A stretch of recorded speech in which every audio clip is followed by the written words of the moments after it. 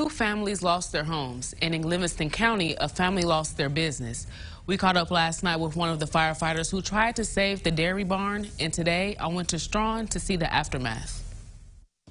This is all that's left after crews battled a dairy barn fire for hours.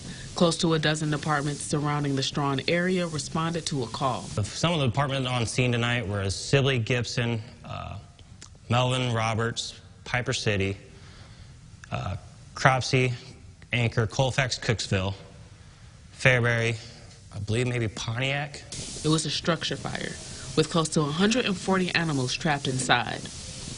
But with high winds and freezing temperatures, it was a hard battle to fight. They made it a little difficult for us, but you know, trying to keep water moving in the pumps as much as much as we could. The barn owner, John Mueller, says the fire started while he was doing some work to prepare for the winter storm. His truck caught fire and flames quickly moved to the rafters.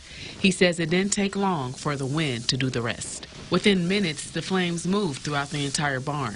Temperatures were so low that water was freezing after coming from the hose.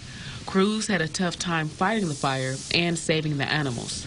Of the 140 cows inside, only 50 of them could be saved. And of the 50, Mueller wasn't able to keep any. Some had to be put down, others were moved to another dairy barn. The destruction of the barn put an end to three generations of dairy farmers. Mueller says at this point he doesn't know if he will continue. Mueller says he's thankful no one was hurt and for the support from his community. We also went to Hoopeston this afternoon to see the aftermath of those fires.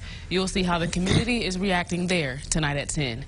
Jess, back to you. All right, Ariana, thank you so much.